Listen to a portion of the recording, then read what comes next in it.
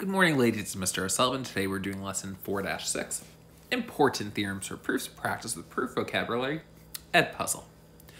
Today you are just doing an Ed Puzzle assignment. There is no Delta Math, there is no classwork, it is just this Ed Puzzle.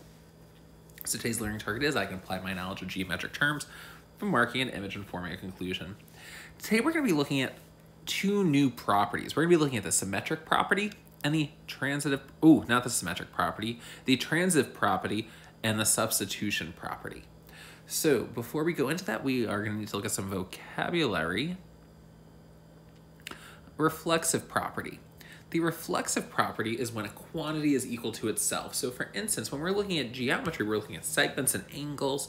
So for instance, I'm just going to say if I had a side length and I wanted to name it side AB, I can say segment AB is congruent to AB.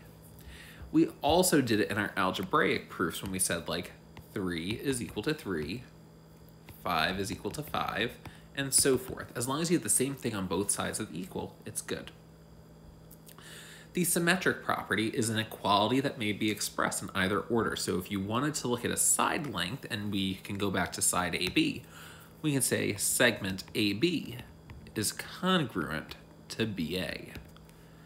We also saw this in the algebraic proofs where we had x equals 3, and we could flip it around to say 3 equals x. It's just flipping it around. And the transitive property is when you cancel out the diagonal or you cut out the middleman. So basically, go from the point of attack to the point of interest or whatever. So the transitive property if you look, I have A equals B and equal, B equals C. So if I'm telling you that A equals B and B is equal to C, then I can say A, B, and C are all equal to each other, but that's way too much th many things to write.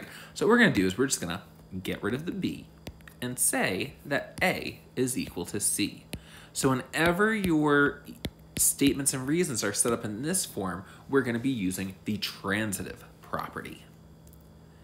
Here, when you have substitution, I'm saying A equals B, C equals B, and if A is equal to B and C is equal to B, I can say that they're all equal to each other. Or I can just say that A is equal to C. When you do substitution, you're cutting straight up or down or canceling up and down. So I can cancel out my B and then just say A is equal to C. Notice you're still getting the exact same conclusion, but with the transitive property, you're canceling your diagonal with the substitution postulate or property, you are just canceling straight up or straight down, and I still get my same conclusion of A equals C. I'm giving you the heads up.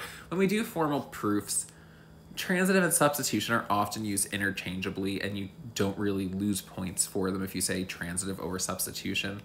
Typically, I just say transitive. But for today, we're, going to try to make sure that we use the postulates correctly, so please pay attention. So remember, we always mark our images. So here's our givens, and we want to come up with a statement and a reason. Angle 1 is congruent to angle 2, so whenever I mark angle congruency, I use semicircle, so angle 1 and angle 2 are congruent.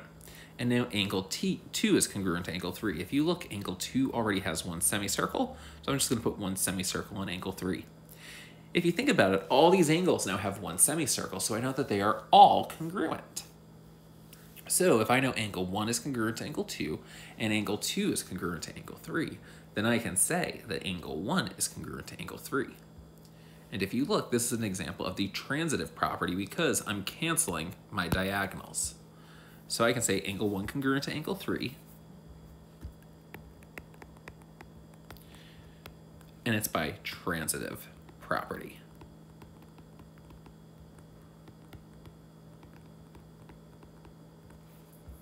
And that's it.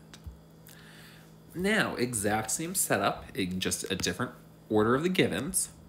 Angle 1 is congruent to angle 2, one semicircle, one semicircle. Angle 3 is congruent to angle 2, one semicircle here, so there's only going to be one semicircle on angle 3.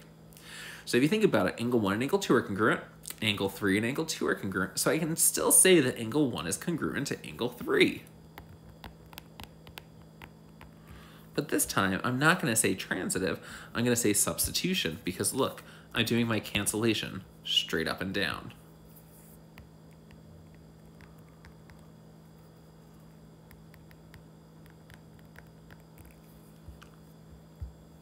Our next example where we have segments.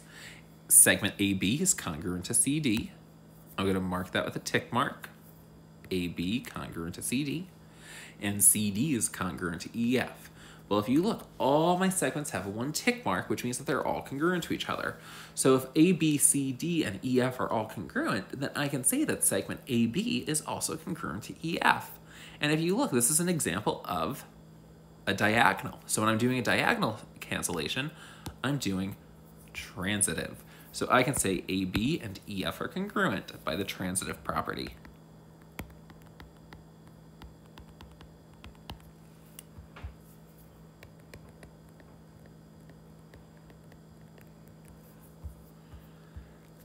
Angle ABC is congruent to angle DEF. I don't even have a visual here. That's what's nice about this, and there's no visual. Angle ABC congruent to angle DEF. Angle DEF is congruent to angle GHI. If you look, I got the same thing in both lines, a DEF. So I can say angle ABC is congruent to angle GHI.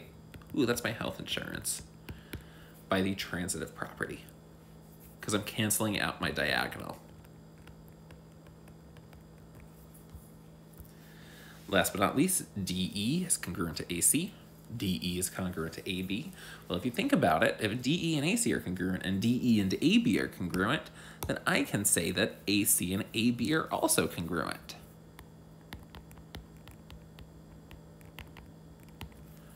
And the thing is, I'm canceling up down, so therefore this is a substitution.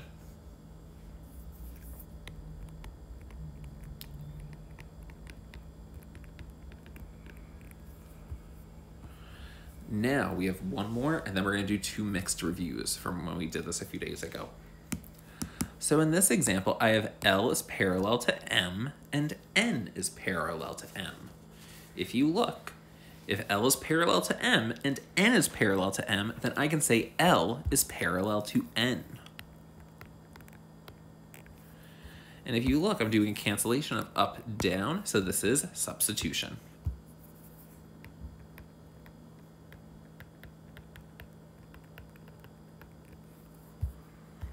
Now, BD bisects angle ABC. If you look at this visual, BD bisects angle ABC. So remember, Bisect means to cut into half or to two pieces.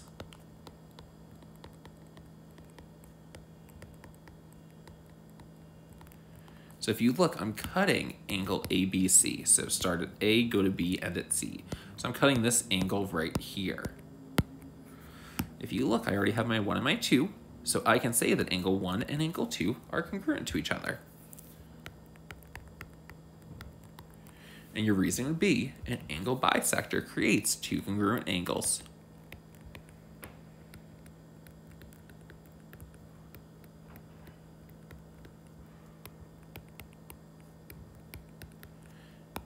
If you want to, you can write this, an angle bisector creates two congruent angles, or if you go to extra help or geometry support with Miss Daniel, she might have told you a trick that I accept and everyone else accepts. You can just write definition, angle bisector.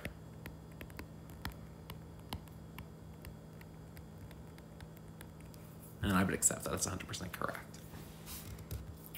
Now our final example, PQ bisects RS at T. So I am cutting, I'm cutting RS at T. So if I look, PQ is bisecting RS, and it's cutting it into half. So if I look, I'm cutting RT and TS to be congruent to each other. So I can say RT congruent to TS. And my reasoning would be a segment bisector creates two congruent segments.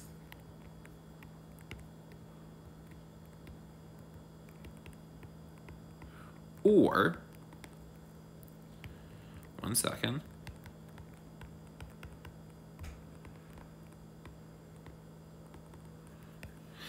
If you go to extra help, you can say definition bisector. And that's it for today. Well, you should say segment bisector. One second. We should be a little more sophisticated. If you want to take the easy way out, you have to say the extra word. You have to say segment bisector. Because it's basically just saying, oh, I'm using the definition of a segment bisector, which is a segment bisector creates two congruent segments. So there is no delta math. It was just this ed puzzle for today. Tomorrow we're going to be learning about the addition postulate and the subtraction postulate. If you have any questions, email myself or Miss Daniel. Have a great day, ladies.